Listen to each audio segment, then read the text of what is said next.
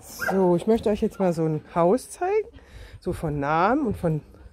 Also erstmal hängen hier diese Planen vor, dass kein Wind reinkommt. Das ist so ein isoliertes Dach extra, also mit, nee, die sagen immer Schaum. Ja.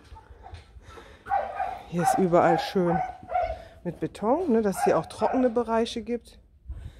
So, dann kann man hier sehr schön rein und die Hunde auch rein und raus. Und das ist hier ein extra dicker Stein. So ein, die sagen dazu, der, der ist so ein bisschen isoliert. Und man merkt das auch, hier ist es jetzt nicht ganz so kalt. Ne? Und im Sommer ist es frisch. Hier gibt es dann das Futter. Der Truss hat seine Decken alle rausgezehrt, wie die das immer machen. Und hier gibt es immer frisches Wasser. Also sind sehr schön. Ich kann hier bequem stehen.